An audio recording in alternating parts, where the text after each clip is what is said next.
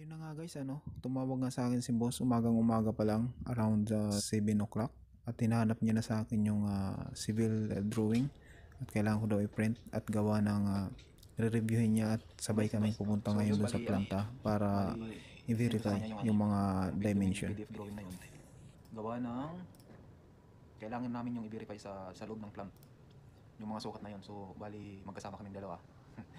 Magsusukat ulit para nandun siya as a witness. At saka ma-verify niya na tama yung ginawa kong ano, mga sukat. Yun. So, gawa ng kailangan niyang i-print yun. Tsaka yung print out na yun, yun yung dadalhin namin sa dun sa loob ng planta. So, mag-ready lang ako ng itong pad kailangan kong pad. Itong metro kailangan ko. Ah, ito hindi kasi civil works yung ah, civil works yung gagawin ko ngayon. So, ito hindi ko kailangan yun. Siyempre, itong helmet, itong uh, measuring tape, yan. Ah,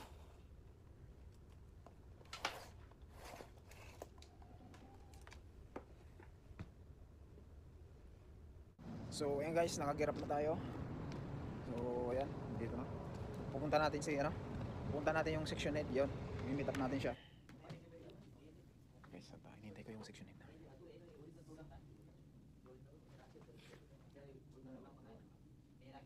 The one, make in right. The boat one, put in left. Okay. Where is this? Uh, where is this? Uh, uh, surface of ground. There, there, that uh, gap of water, we have to So, balik na tayo. Balik na tayo sa office.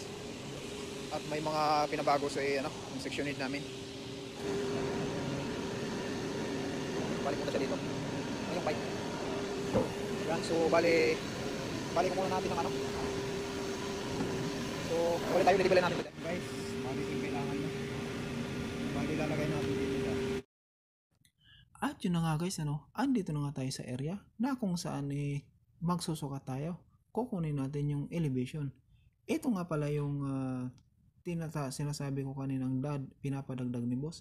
Itong pipe conveyor na kung saan is i-indicate natin yung elevation nito at i-add natin to sa layout. Okay, natapos na natin guys. Balikan tayo sa office. Ayun, nakalabas na tayo sa planta. Ah, babalikan tayo sa office. So, bali natapos na natin kunan ng ano, dimension, ng sukat. So, ayusin na lang natin ulit sa ano, sa AutoCAD. So, ayan na nga guys, ano? At nakabalik na nga tayo dito sa office. Ayan.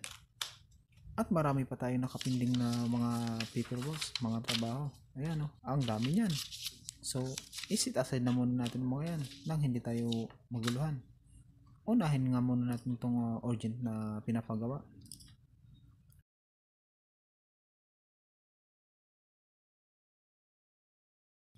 So ayan, iniisa-isa ko pa nga muna ang mga yan. Yan yung mga cross section natin na na-generate. Nandyan na rin yung mga elevation.